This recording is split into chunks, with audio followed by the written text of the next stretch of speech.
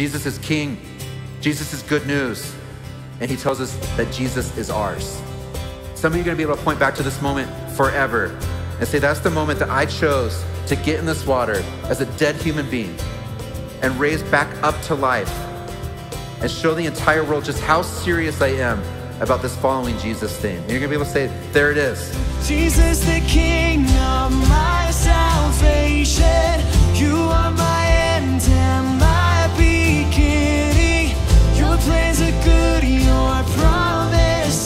promises are true. You make all things new. Everything I am and my purpose in life is for Him now. And so it was, it was an honor to be part of this today.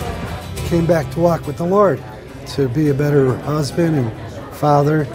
Um, I struggled with drugs and um, I lost complete faith. And um, for the past like 10, 15 years, I thought God had abandoned me.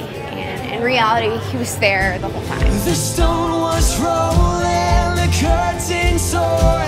the grave was killed, and your body gone.